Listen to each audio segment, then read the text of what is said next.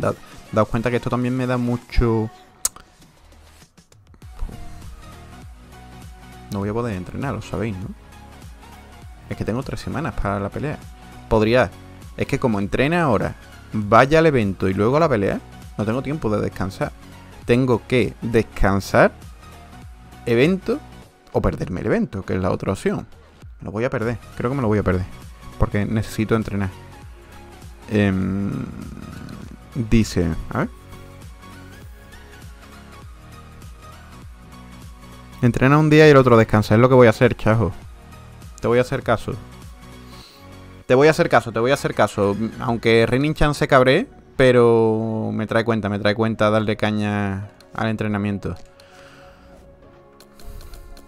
Un poquito de por aquí. Vamos a darle balón medicinal. Fijaos lo que sube.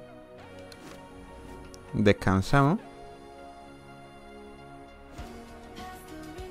No, es que el estudio Santa Mónica tiene unos juegos muy potentes. Santa Mónica Studio.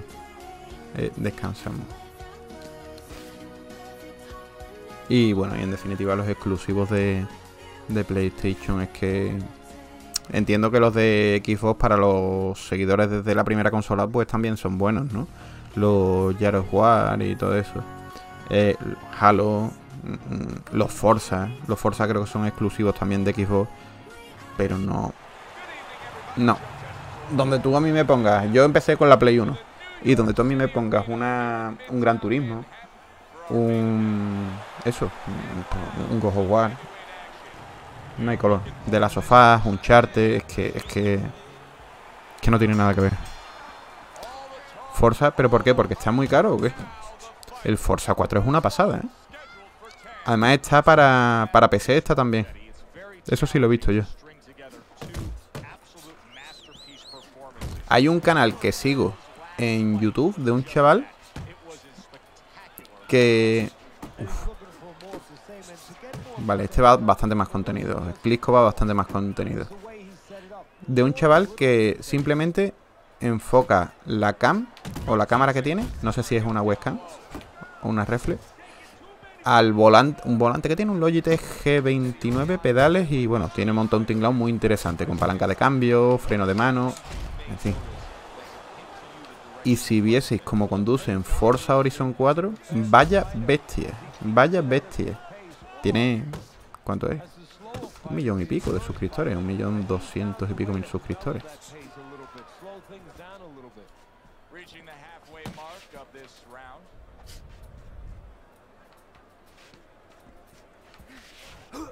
¿Sí? Que cuando matas a todos los cuervos esos que están ocultos, te sale una voz que te dice algo. Te... sí. No sabía, es que ya te digo que... yo es que no tuve tiempo, pero si ese es de los juegos que me hubiese gustado completar al 100% si hubiese tenido la oportunidad. El platino, vaya.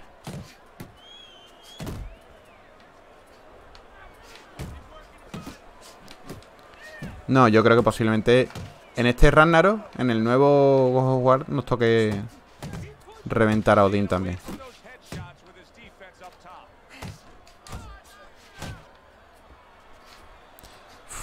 Clisco, es una torre, ¿eh? Y daos cuenta que con el 1.80 que tengo yo, pues... Se me ve enano al lado de él. Voy a esperar. Aquí cunde bastante, fijaos, 100% de estamina. Cunde bastante lo que es aguantar las embestidas de rival al principio, renovando mucho la guardia, flexionando piernas, para que tampoco nos castiguen mucho el cuerpo, cabeceando y meternos en la corta. Contra gente tan grande, meternos en la corta, porque como nos pongamos a distancia de ellas, nos va a, a reventar la vida, ¿sabéis?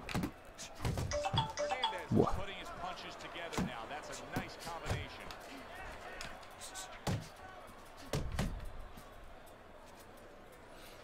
Sí, a mí realmente, aunque, aunque Vladimir Klitschko tiene bastante pegada... Uy, el móvil.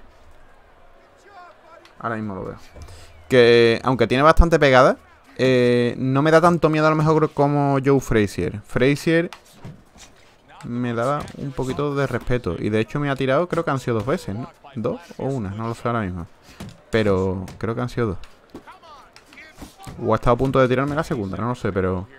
Esa pelea la he visto bastante cerquita de perderla. Igual que la de Max Schmeling en su momento, la del alemán. Que también fue bastante heavy. Hoy. Wow. Perdóname un momentito. Menos mal que he pausado y, y que esto no es como los online. Si no me hubiese quitado la vida Vladimir Klitschko ahora mismo.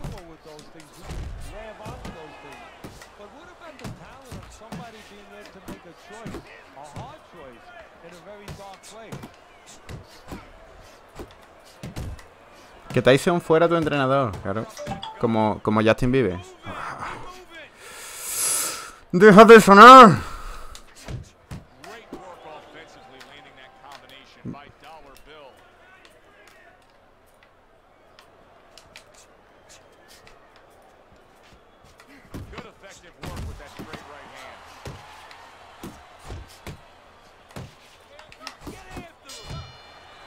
Bueno, bueno. Me vale. Creo que tengo que estar, si no sigo en el 100% de estamina, estoy cerquita, 96, ¿veis? Que realmente... Mm, Vladimir Klitschko es más de dosificar porque también tiene muchísima pegada, pero él está en el 88% de estamina, que eso sí lo podemos ver aquí. Entonces creo que nos lo podemos ir llevando. Y que posiblemente esta pelea la ganemos. No quiero hablar muy harto, pero bueno.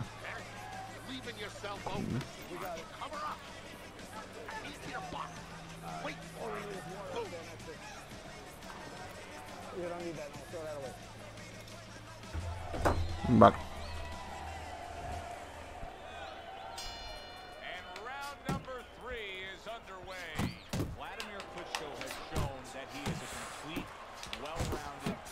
Aunque yo bajo mi punto de vista, aunque Vladimir Klitschko consiguió mejor palmarés, me gustaba más Vitali. Vitali Klitschko siempre dijeron, hay un documental que es Klitschko precisamente como se llama, de la HBO, Está disponible, ¿dónde lo vi yo? En la HBO. con el mes de prueba que me dieron. Y pillé para ver Juego de Tronos y demás. Y decían, es una entrevista continua a los dos hermanos, un documental desde que son chicos hasta que empiezan a pelear y a despuntar. Y decían que Vitaly siempre fue de los hermanos la, la roca, realmente, el más frío. Y Vladimir, pues, era como el protegido de Vitaly, ¿no? Esto era, un, dos pedazos de boxeadores que cuidado, ¿eh?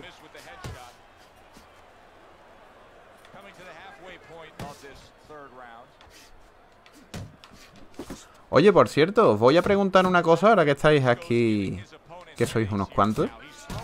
¿Visteis la pelea de Paulo Costa contra De Sánchez? Y si la visteis, ¿qué os pareció?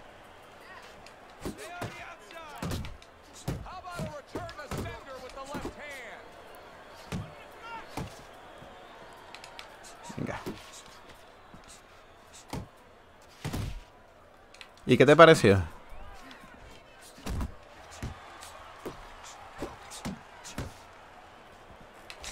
Uf.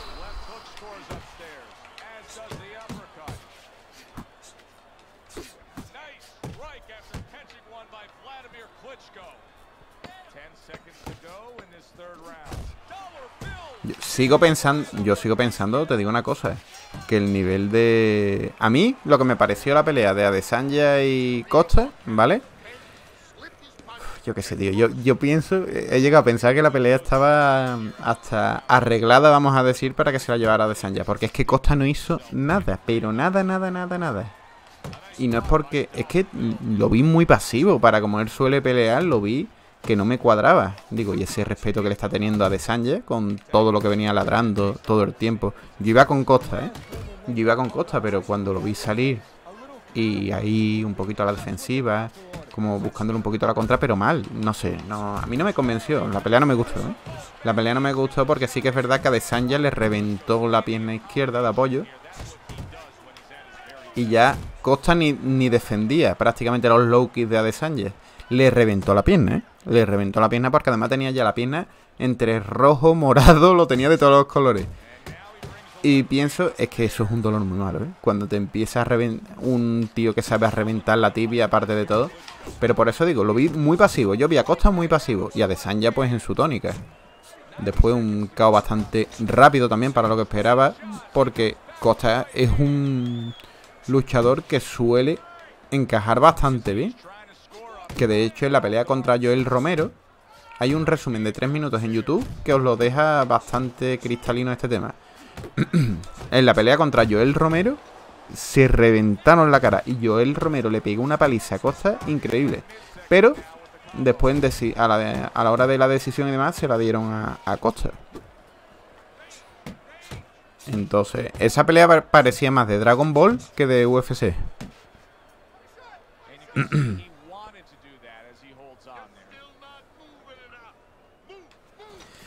Sí, pero yo tampoco veo, es mi punto de vista, ¿vale? Yo, por ejemplo, a Paulo Costa no lo veo mm, un noqueador. Mm, por ejemplo, ¿qué os puedo decir? Un noqueador me parece lo que era Mike Tyson, ¿vale? Y sé que es irme al extremo, Mike Tyson, que era un tío que en el primer segundo asalto, si se le ponía entre cejas y cejas, te tiraba. Y ya podías medir un metro ochenta o dos metros veinte. Pero, bueno, dos metros veinte tampoco, pero 2,05. Pero sí que es verdad que a Pablo Castro le veo un tío que mm, provoca muchos caos, muchos ticaos porque le mete en un martillo. Y además le mete mucha intensidad a la pelea desde el principio. Entonces esa intensidad hay poca gente que sea capaz de, aguantársela. Y pensaba sinceramente que iba a llevarse a Desanya a la corta distancia y, y lo noqueaba, ¿eh? Pero no. Adesanya se mantuvo bastante cómodo. De hecho, la cara ni se la tocó Pablo Costa. Y bueno. Y al final, pues mira. Otra pelea más para Adesanya. Ahí hay... No sé, yo en definitiva después también vi la pelea de Juan Espino, del español del Canario, que tiene 39 años. Y, ese chaval en suelo es una máquina, ¿eh? Ese chaval en suelo es una máquina. Es especialista en lucha canaria. Pero las sumisiones y demás, uff, qué peligro tiene. Me parece que lleva cuatro peleas y cuatro victorias, ¿eh? con 120 kilos de peso que tiene, eh, es un bicho. Pero también ya llego a pensar que el nivel general en UFC es bajo. Es la impresión que me da, ¿eh?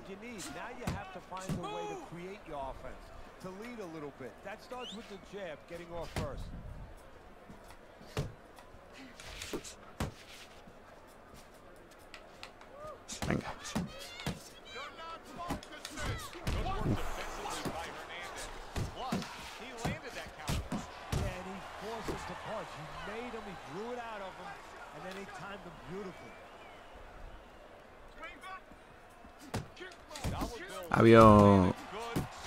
En la historia del boxeo es que ha habido muchas épocas claramente diferenciadas las unas de las otras. Eh, Sugar Ray Robinson era, por ejemplo, una bestia.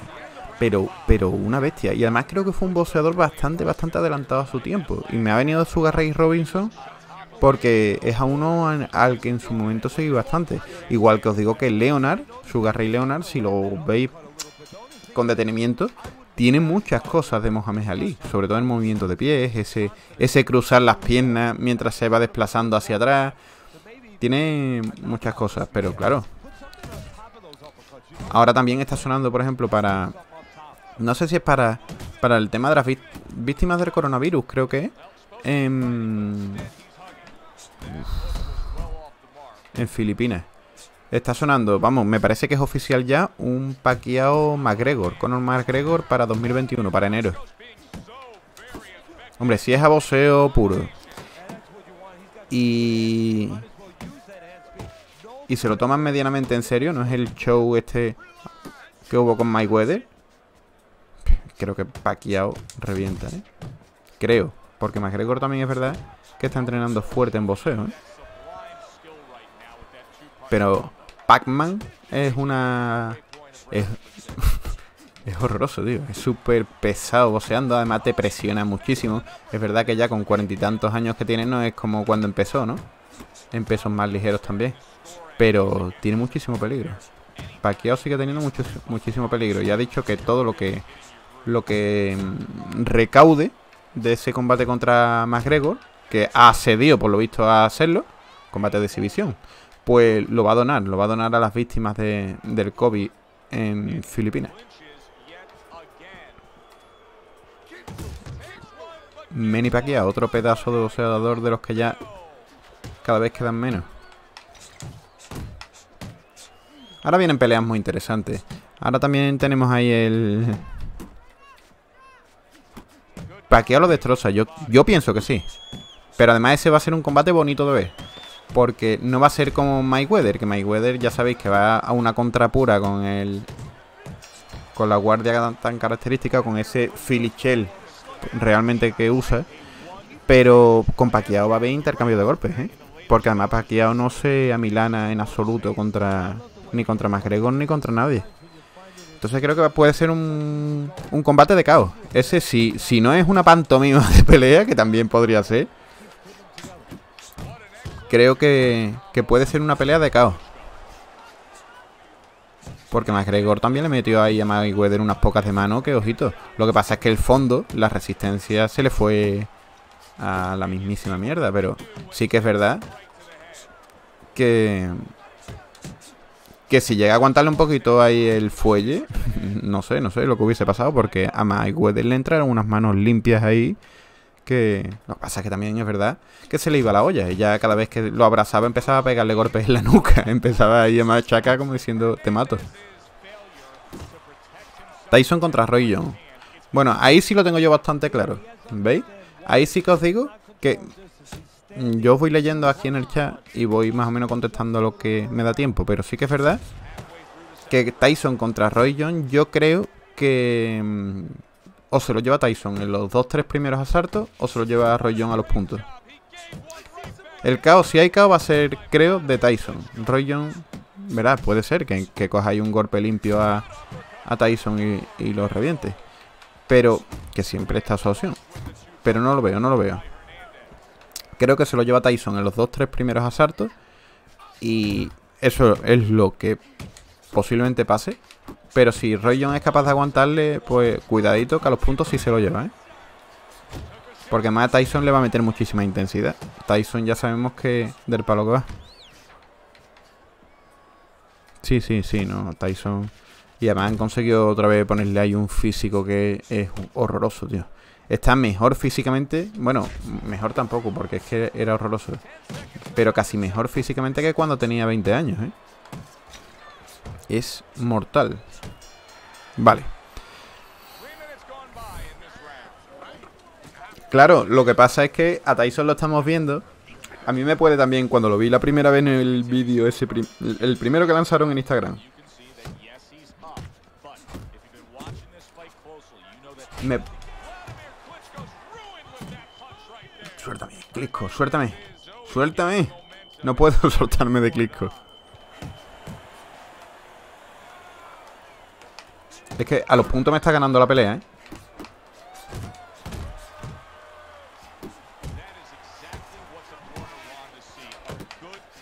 Entonces, cuando lo vi la primera vez, a Tyson me pudo lo que es el hype.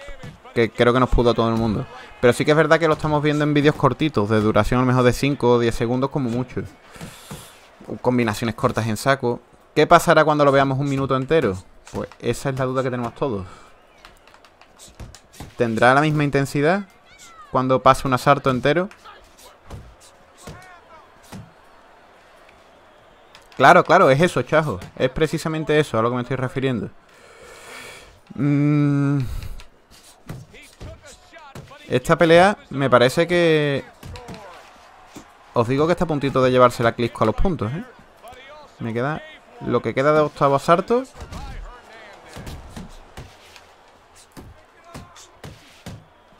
Y un par de ellos más. Quiero noquearlo. Quiero noquearlo sin volver... Sin volverme loco.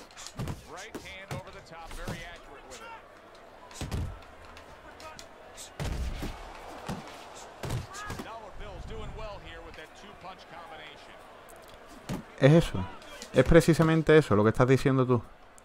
Mantener la intensidad con el paso de los asaltos. Es que, es que... No lo has podido describir mejor. Es eso a lo que me refiero yo. Y a mí también me puede mucho lo que es eso, el decir, a Tyson de nuevo ahí dándolo todo y no sé qué, pero... ¿Verdad? Que al final es verdad, es como Holyfield.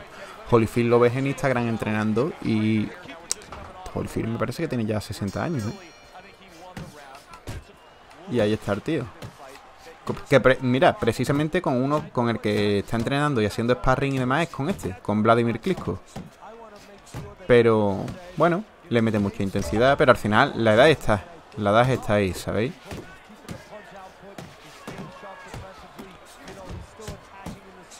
Hay que cogerle en una combinación de esas largas, cuando la barra de estamina le, le pegue un pico para abajo, es cuando tengo que intentar pillarlo. Suéltame. Este tío tiene bastante contención. Y ahora aguantar. Y seguimos ahí. Y seguimos. Creo que en el momento que lo tiremos una, tenemos el resto. Venga.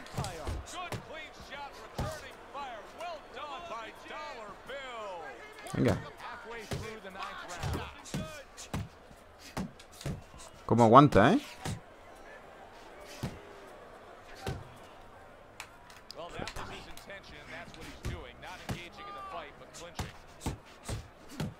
Vamos a tener, vamos a tener la, la ocasión de noquearlo. Pero que nos va a costar la vida también, os lo digo.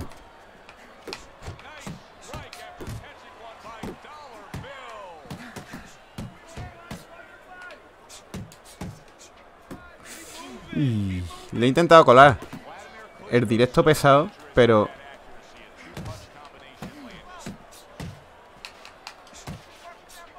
¿Cómo se cubre, eh?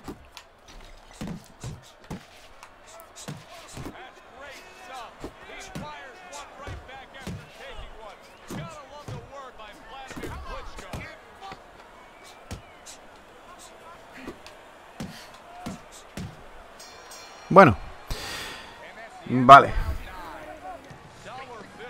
El boxeo antes parecía de gladiadores, dice. El boxeo antes era una pasada. Y a principios de los 90 había un nivel brutal. ¿Sabéis quién era un boxeador también que me gustaba muchísimo? Y que creo que ha estado siempre muy infravalorado. David Tua. David Tua era otra mole.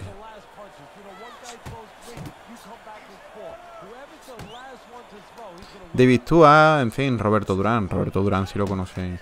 Roberto Durán dicen que en su última pelea, la pelea que antes de retirarse, por lo visto dice que se vio él incapaz de... Uf, incapaz de noquear al, al rival. Se veía inferior físicamente. Y por lo visto se fue a la esquina y dijo, mira, me retiro del boxeo. Y se retiró. Un tío con muchísimo orgullo. Y que cuando se vio por debajo de su nivel habitual, dijo, mira, pues ya está, hasta aquí. Eso, ya hay poquita gente que lo haga, ¿eh? Boceadores a los que, que el dinero siempre ha hecho que se le vaya la olla a muchísimos de ellos.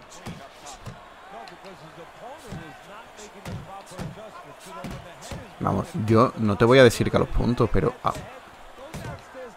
esta pelea puede ser que la pierda, ¿eh? Porque no creo yo que me haya dado tiempo a coger todos los puntos que necesito. Y además, este buen hombre se está cubriendo muy bien. Ah. Vamos. Que yo pierda la primera pelea contra Vladimir Klitschko y a los puntos después de haber noqueado a... Después de haber noqueado a Frazier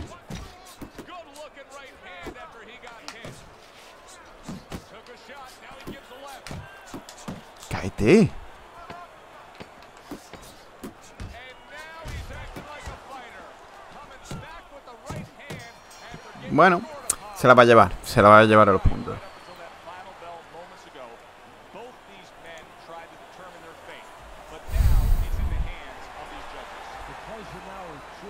Le van a dar la, la pelea a los puntos, tío. Bueno, pues la primera derrota tenía que llegar. No, no, no, no. Sabía que tenía, sabía que tenía que llegar la derrota. Y además ha sido los puntos. Fíjate la cantidad de manos que yo le he metido. ¿eh? Pero... ¡Ah! Qué, sabor más agridulce. Hay que, hay que meterle más... No, no me importa demasiado. Hemos, terminado con el invisto. Pero... qué, poco me gusta tanta flechita roja hacia abajo, ¿eh? Pero ha resistido mucho. Ha resistido mucho Klitschko. ¿Por qué? Ah, claro. El patrocinador no está feliz. Yo tampoco. Os garantizo que yo tampoco. F por el invito. sí que es verdad. Así que nada, ¿sabéis qué os digo? Vamos a... Voy a cortarlo por aquí. Voy a cortarlo por aquí. Voy a guardar la partida. Y el próximo día... Porque es que mm, necesito desconectar. Necesito desconectar, plantear una nueva estrategia para, para el personaje y ver de qué manera lo vamos enfocando. Porque esto ha sido un jarro de agua fría. Esto ha sido un verdadero de jarro de agua fría con Sí, sí, sí, sí. Y yo me he quedado con el mismo sabor de mal sabor de boca. Pero sé que lo único que puede pasar ahora mismo si continúo peleando es que pierda otra. Porque ya influye en otra serie de factores que no molan. No molan nada como es el tema psicológico, ¿no? Eh, madre mía. Además que ha sido los puntos. Es que si me hubiese no quedado, me hubiese sabido mejor. Digo, bueno, pues te iba a plantear un peleón un peleón, pero es que estaba llevaba tres asaltos cubriéndose nada más. Y yo lo único que estaba haciendo era pegándole, pegándole, pegándole. Estaba a punto de tirarlo, pero se seguía cubriendo, me abrazaba. Una pelea sucia, una pelea bastante guarra, todo se ha dicho. Pero bueno, a él le ha servido, y ya está. Un estilo más agresivo, sí. Sí, sí, sí, sí. Creo que al personaje le vamos a tener que dar un cambio de aire, pero... Pero de los grandes además, ¿eh? Porque ya, ya os digo, Mm, hay algo que le está fallando. Y yo pienso que aunque estamos noqueando muchísimo, mm, se está quedando como a medio gas. Eh, no sé, no sé, no sé, no sé. Yo ya, os digo que no... No sé si es que le falta a lo mejor un poquito de, de pegada en el jab. O porque de resistencia después va bien. Y lo que... No sé. Hay algo, tengo que estudiarlo, tengo que estudiarlo porque el crochet, el, el upper también está bastante... El upper está flojo. El upper de momento está flojo. Hmm. Sí, o... no podemos, es que meternos en una categoría brawler... Mira, os voy a enseñar una cosa. Os voy a enseñar una cosilla. Me voy a venir a mi boxeador. Sí, creo, yo creo también que tendría que mejorar ya, ¿eh? Vale, voy a mirar. Bosser Group. Mm, no, creo que en editar boceador. Lo que yo quiero ver creo que está en editar boceador. Vamos a ver. Ripes, esto está bien, todo esto está bien, vale. Accesorios no es lo que me importa. Aquí. El Picaboo, bueno, vale. Ortodoxo, vale. Bowser Punch, no me deja cambiarlo. amigo. No, yo creo que, bueno, o Punch Style, enfocarlo un poquito más a lo que es Power o el estilo Chávez también, que es bastante, bastante similar al mío, real. ¿Vale? Estilo de boxeo me refiero.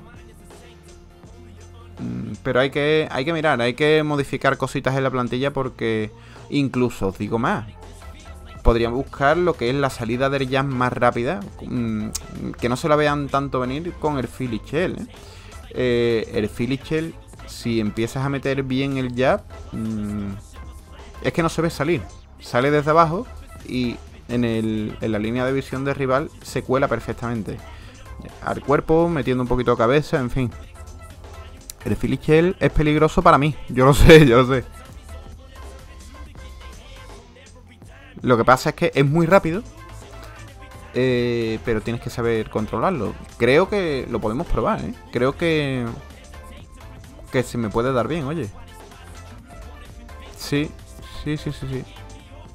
Lo sé, lo sé. Porque además dejas la cara, la dejas bastante más descubierta. Y aunque vayas renovando la guardia, ya eh, te exige tener un cabeceo más potente, ¿sabéis? Un cabeceo más potente que con la guardia normal. Entonces, lo podemos probar. Sé que quizás nos puede garantizar también más caos si lo dominamos. Pero también tenemos que tener cuidado con las manos que nos entren. Si nos llega un foreman y nos mete un directo de derecha y nos va castigando un poco. de hecho, os digo que hoy en el canal a las 10 de la noche, hora española, dentro de casi una hora, hay una pelea que jugué ayer en el online, ¿vale? Yo era Antonio Chávez contra un George Foreman. Y bueno, me dejó la cara me dejó la cara horroroso. Al final la, pelea se va a decisión. Pero que es a lo que voy. El Philly Shell sé que es un arma de doble filo. Bueno, de momento le vamos a dejar el testbook. Y para el próximo ratito que le echemos vamos a plantearlo. Vamos a plantearlo porque puede ser que, que apostemos por el Shell, ¿eh? Sí, el Shell, ¿verdad? Yo también lo pienso, oye. Yo también lo pienso. A día de hoy, eh, pero tampoco es un Shell al uso. Eh, ¿Cómo se llama este chaval? Anthony es uno que usa un Shell, pero quizá más más ofensivo, no, no tan a la contra. Y aunque va a la contra, ya te das cuenta de que son pesos elevados, la velocidad no es la misma que en un peso fuerte, en un peso ligero. Eh, son cositas ya que hay que tener en cuenta. Hmm. Vamos a, dejarle el test bus, ¿vale? Y, y esto sí, esto sí, posiblemente sí lo cambie. Esto sí, posiblemente lo cambie. En fin, podemos hacerle bastantes modificaciones al personaje y creo que vamos a hacerle una reestructuración para el siguiente. Así que nada, gente. Bueno, pues lo único que os digo, ¿vale? Es que muchas gracias por la compañía durante este ratito. Eh, eh, no, bueno, esto puede ser un renacer, ¿eh? esto puede ser, ojito, que puede ser el renacer de la leyenda. Esperemos que sí. Así que, claro. Así que nada, mm, muchas gracias por haberme acompañado este rato y nos vemos en el próximo directo. Espero poder hacerlo más pronto que tarde. Y, y lo que os he dicho, voy a tocar también el Battlefield 1. Porque lo tengo ya instalado y todo. Y tengo mono, tengo mono de Battlefield 1, oye. De campaña, de multijugador, etcétera. Un abrazo enorme, ¿vale? Un abrazo enorme y nos vemos el próximo día. Hasta luego. Adiós.